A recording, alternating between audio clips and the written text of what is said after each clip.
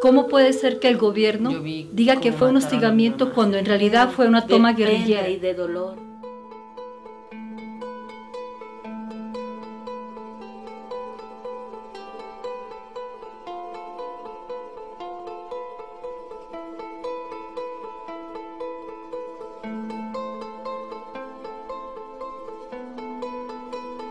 Mujeres, niños, hombres y jóvenes fueron masacrados en la mitad del pueblo.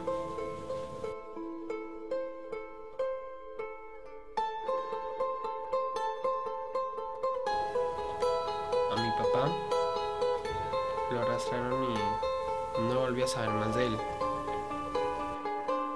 Tanta violencia, tanta muerte, tanta tristeza por los inocentes que se fueron, por las madres que lloran a sus muertos, niños llenos de dolor ante los cuerpos inertes de sus padres que ya no volverán. Los procesos están vigentes, pero no se les ha dado la celeridad que requiere la situación. Dolor que quema y desgarra el alma y nos deja como muertos en el mundo de los vivos. Mi mamá Pues la sacaron y la violaron. le, le- le cortaron la garganta enfrente, enfrente de mí y mis hermanos. Y cuando intentaron cogerme a mí, llegó el ejército.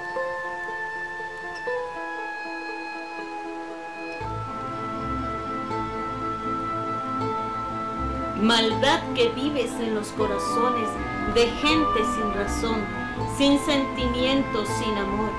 Dolor que quema y desgarra el alma y nos deja como muertos en el mundo de los vivos. Nosotros somos los verdaderos culpables con nuestra indiferencia.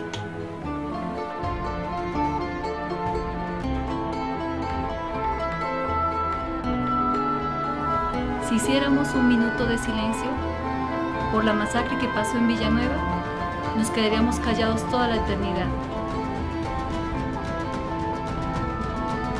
¿Usted quiere que le cuente lo que pasó en Villanueva?